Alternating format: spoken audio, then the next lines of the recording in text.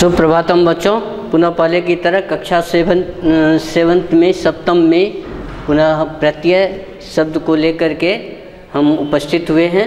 और इससे पहले भी हम लोग प्रत्यय के बारे में समझते हैं जो प्रत्यय क्या चीज़ होता है, उसका क्या परिभाषा होता है। उसी के बारे में हम लोग अभी तक समझ चुके हैं, जान चुके हैं। तो सबसे पहले तो हमें ये जानना है, जो प्रत्यय शब्द जो है हाँ इनका पर, इनको हम लोग कैसे परिभाषित कर सकते हैं? इनका क्या परिभाषा होता है?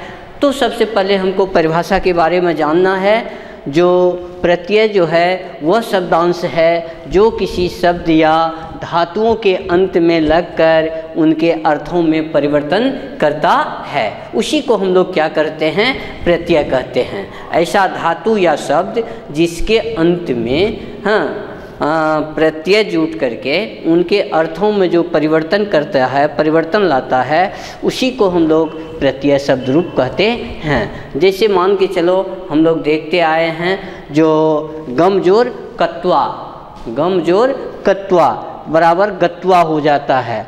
पथजोर कत्वा बराबर पठित्वा हो जाता है। ठीक उसी तरह से अब हम लोग ये देखेंगे जो कत्वा प्रत्यय जो है इसमें क्या क्या शब्द बच जाता है, क्या खत्म हो जाता है, क्या नष्ट हो जाता है, किसका लोप होता है, और क्या शब्द जो है, जो बचा हुआ शब्द है, जो कि शब्द या धातु के साथ में जुड़ करके उनके अर्थों में परिवर्तन करता है। अब हम लोग लाइन प्रत्येक प्रत्यय के बारे में हम लोग जान लेंगे, जो किस प्रत्यय में किसका लोप होता है, सिर्फ़ क्या चीज़ जुड़ता है, उसी के बारे में हम लोग जान लेते हैं। जैसे मान के चलो, कत्वा प्रत्यय है, कत्वा प्रत्यय से अर्थ भवती करके। यानी कत्वा का अर्थ होता है करके। ठीक है? फिर उसी में से हम लोग दिए हुए हैं, कत्वा प्रत्यय से प्रयोग धातु भवती। यानी कत्वा प्रत्यय का जो प्रयोग है, वह हम धातु या शब्दों के साथ में करते हैं। तीसरा नंबर में आ जाता है, कत्वा प्रत्यय को लोप भवती, केवलम त्वा धातु अनंतरम प्रयुज्यते। कर रहे हैं क्या? कत्वा प्रत्यय में जो है, क का लोप होता है और सिर्फ़ त्वा शब्द जो है, धातु के साथ में जुड़ करके उनके अर्थों में परिवर्तन करता है। उसी तरह से जैसे यथाम हम लोग देख लिए, गम। गम ज़ोर कत्वा, बराबर गत्वा। इसके बाद लास्ट नंबर में आ जाता है, कुत्रचित ई स्वरस्य प्रयोग अपि भवती। यानी ई स्वर का भी प्रयोग इस प्रत्यय में किया जाता है। जैसे पठ जोड़ कत्वा बराबर पठित्वा।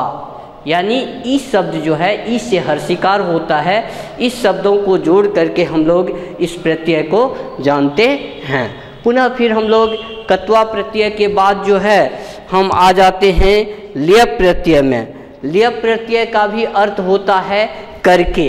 लिय प्रत्यय का भी अर्थ क्या होता है? करके। जिस तरह से कत्वा प्रत्यय का प्रयोग होता है करके, ठीक उसी तरह से लिय प्रत्यय का भी जो प्रयोग किया जाता है, वह होता है करके। अब हम लोग पढ़ेंगे लिय प्रत्यय के बारे में। तो लिय प्रत्यय अर्थ अपि कत्वा प्रत्यय प्रत्ययवत करके भवती। यानी लिय प्रत्यय का भी जो प्रयोग हम लोग कर, करते हैं सिर्फ़ कत्वा प्रत्यय के ही समान करके के रूप में इसका भी हम लोग प्रयोग करते हैं। परम लिय प्रत्यय प्रयोग उपसर्गे शह शह परम कत्वा प्रत्यय उपसर्ग रहित भवती। कर है कि लिय प्रत्यय का जो प्रयोग है, वह उपसर्ग के साथ में होता है। ठीक है? इसके बाद हम लोग जैसे देखते हैं, उपसर्गीन सह कदापि कत्वा प्रत्यय से नो प्रयुजते यानी उपसर्ग के साथ जो है कत्वा प्रत्यय का प्रयोग हम लोग नहीं करते हैं। हाँ लिय प्रत्यय से उपसर्ग उपसर्ग ही धातु नाम सह प्रयुजते यानी लेप प्रत्यय का जो प्रयोग हम लोग करते हैं, वह धातुओं के साथ में प्रयुक्त किया जाता है। छात्रा लोट लकारे मध्यम मध्यम पुरुषे प्रायः एताम त्रुटिम कुर्वन्ति। प्रायः क्या होता है, इसमें त्रुटि कर लेता है।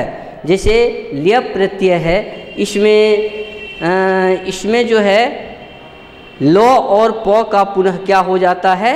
लोप हो जाता है। लो का और प का इसका पुनः इसमें से हट जाता है और सिर्फ़ उसका आ, सिर्फ़ यो शब्द जो है वह धातु या शब्द के साथ में आ जाता है।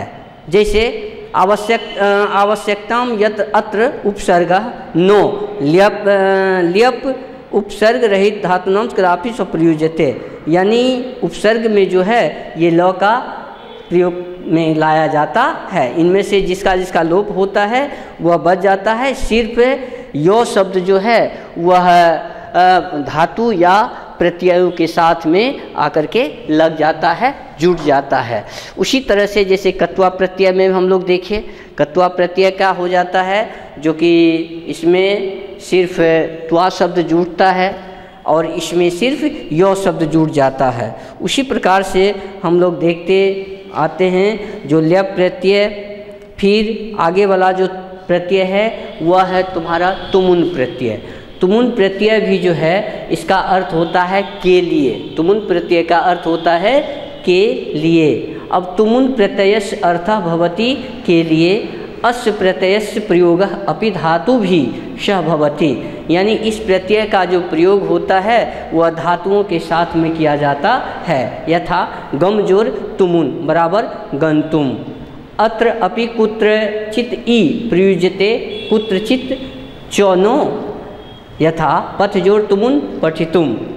एते त्रय प्रत्यय पुनः पुनः रूपेशु न प्रयुज्यते। अब इसमें जो है, प्रत्यय का पुनः प्रयोग में लाया जाता है, रूप प्रयुज होता है। एते प्रत्यय अव्यय पदानी भवती। ये पद जो होते हैं, यानी तुमुन प्रत्यय का जो पद होता है, वह अव्यय पद के साथ में जुड़ा हुआ होता है। इसमें क्या होता है? एते प्रत्यया त्रिषु लिंगेशु त्रिषु वचनेशु समान रूपेण भवंती यानी तीनों लिंगों में और तीनों वचनों में इसका जो रूप होता है, वह समान रूप से होता है। अब तुमुन प्रत्यय जो है, इसमें से ऊ का और नो का, ऊ और नो का क्या हो जाता है?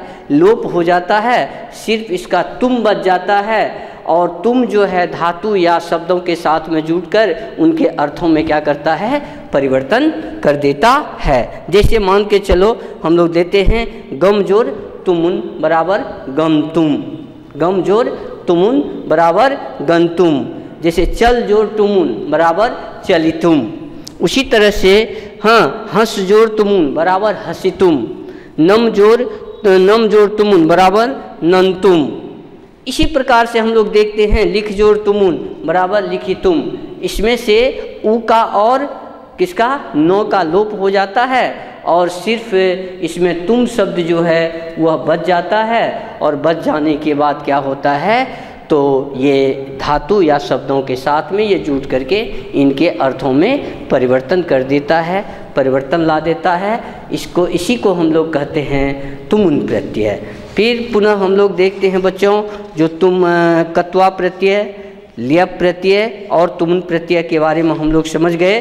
अब हम लोग चलते हैं कुछ उपसर्ग के बारे में। तो उपसर्ग भी जो है, इसी प्रकार का दिया हुआ है। उपसर्ग शब्द जो है, ये प्रत्यय के समान ही दिया हुआ है। उपसर्ग शब्द का हम लोग जब परिभाषा करते हैं तो यही होता है, उपसर्ग वह शब्दांश है, जो किसी शब्द या धातुओं के अंत में उपसर्ग वह शब्दांश है, जो किसी शब्द या धातुओं के पहले लगकर उनके अर्थों में क्या करता है? परिवर्तन करता है। प्रत्यय शब्द वह होता है जो क्या करता है? वह क्या करता है? पहले लगता है। वह लास्ट में लगता है। प्रत्यय जो है, वह लास्ट में लग जाता है। लेकिन उपसर्ग जो है, वह क्या करता है? किसी शब्द या धातु के पहले लगकर उनके अर्थों में परिवर्तन कर देता है। उसी को हम लोग क्या कहते हैं? उपसर्ग शब्द कहते हैं। उसी में मान के चलो, जैसे उपसर्ग शब्द जो है, वह है अब। अब जो है, अब के साथ में अगर हम लोग तरती जोड़ देते हैं तो अब तरती बन जाता है।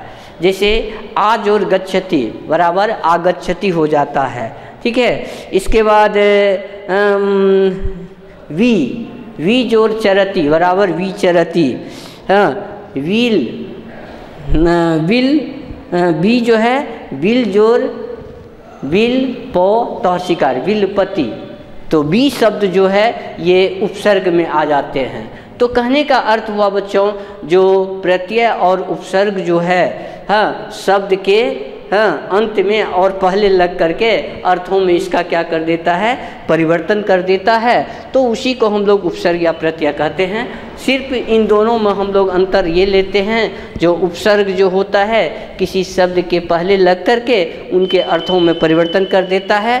प्र, परंतु प्रत्यय वह शब्द होता है जो किसी शब्द या धातुओं के अंत में लगकर उनके परिवर्तन कर देता है। तो ठीक है बच्चों तो पुनः हम लोग प्रत्यय और उपसर्ग के बारे में समझ गए और इसको बना भी लेंगे, ठीक है? फिर हम लोग आगे क्लास में जो है उपस्थित होंगे। थैंक यू बच्चों।